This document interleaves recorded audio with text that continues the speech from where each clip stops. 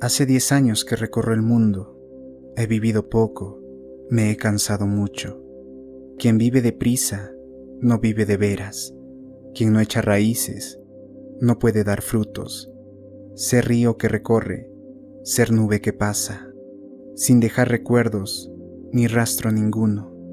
Es triste, y más triste para quien se siente nube en lo elevado, río en lo profundo. Quisiera ser árbol, que ser ave, quisiera ser leño, que ser humo, y el viaje que cansa, prefiero el terruño, la ciudad nativa, con sus campanarios, arcaicos balcones, portales vetustos y calles estrechas, como si las casas tampoco quisieran separarse mucho.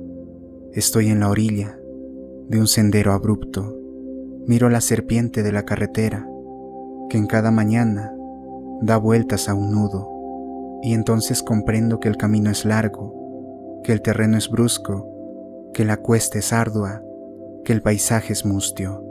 Señor, ya me cansé de viajar, ya siento nostalgia, ya ansío descansar muy junto de los míos.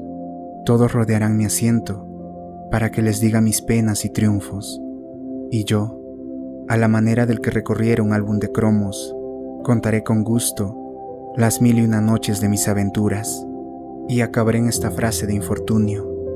He vivido poco, me he cansado mucho.